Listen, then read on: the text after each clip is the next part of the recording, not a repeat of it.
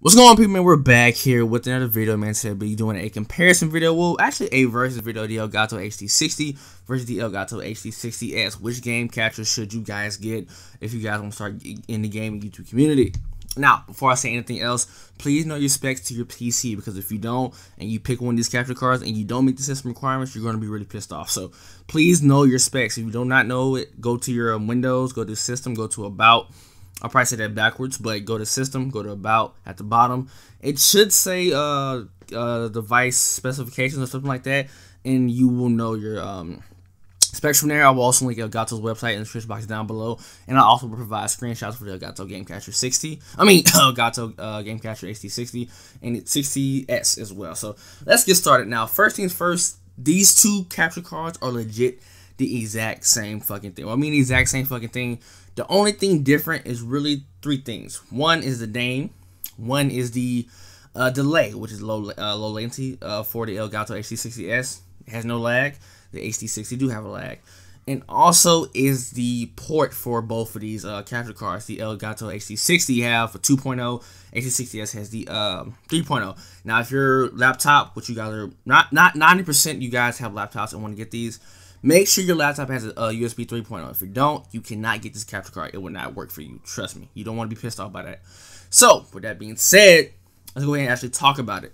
Now, with the Elgato HD60, I owned it. Now, I did it in January. I got it around January of 2017. We're now about to be in 2019. So, about to be almost two years since I uh, got doing my capture cards. So, my experience with it was it was very it was a delay like a five second delay now i didn't stream at the time because my internet wasn't strong enough to stream like I was saying earlier, there was also like a five second delay or four to three. So I will provide a picture right now of my Uncharted 4 multiplayer gameplay, what I did in January 6th.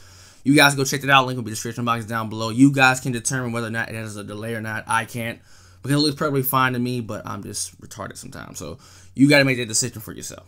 But going moving forward, there is like a second delay, so you may have to sync your audio and your webcam up with you to match your gameplay. That can be a pain in the ass. Which also is another alternative is you can also use OBS or possibly XSplit to capture gameplay. Which I'm using now. I'm currently using OBS. I'm not fucking with that Elgato software right now. Now moving on to the HD60S, like I said earlier, it is, is legit the exact same thing. The only difference is you is no delay at all. Live streaming and recording.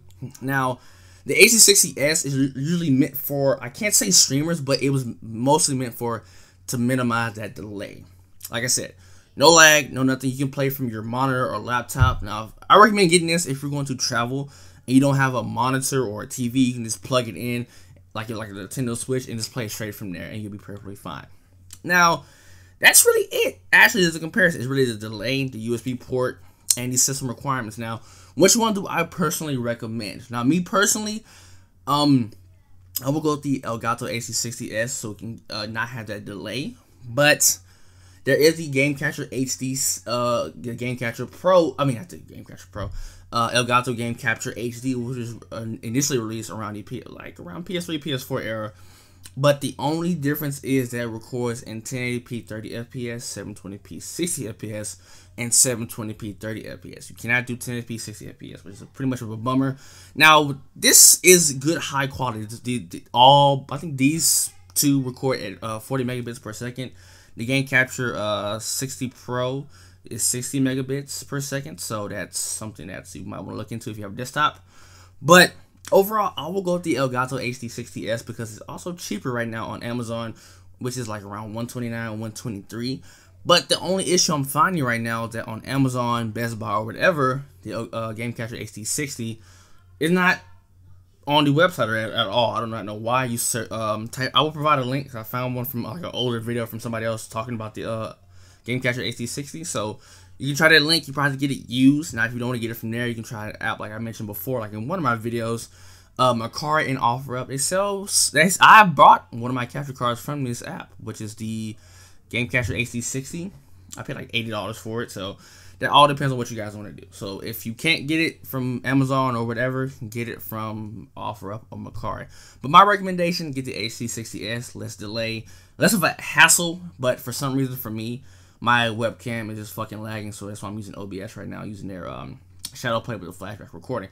But hopefully that helped you guys make a decision on which one to get. Um, I plan on doing a giveaway pretty soon with that if I do eventually get the uh, 4K 60 Pro. And we'll just go from there. Hope you guys have a blessed day. See y'all later. I'm out. Peace.